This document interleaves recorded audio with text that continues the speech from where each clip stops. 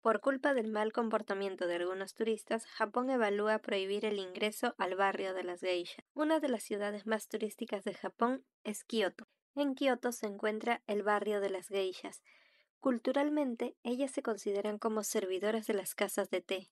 Brindan servicios de entretenimiento al mostrar sus bailes y sus tradiciones. Pero algunas personas que desconocen sobre ellas las confunden como si fueran damas de compañía y las acosan o fotografían sin respetar sus espacios personales. Por el momento, el gobierno ha permitido solamente el acceso al turismo a las calles principales y ha incrementado la seguridad, mas no se permite a las aledañas, donde se encontraban las casas de té más antiguas y que mostraban mayores tradiciones. Es muy difícil encontrarlas caminando, ya que usualmente ingresan directo por puertas o pasajes escondidos. ¿Qué opinas acerca de esta actitud?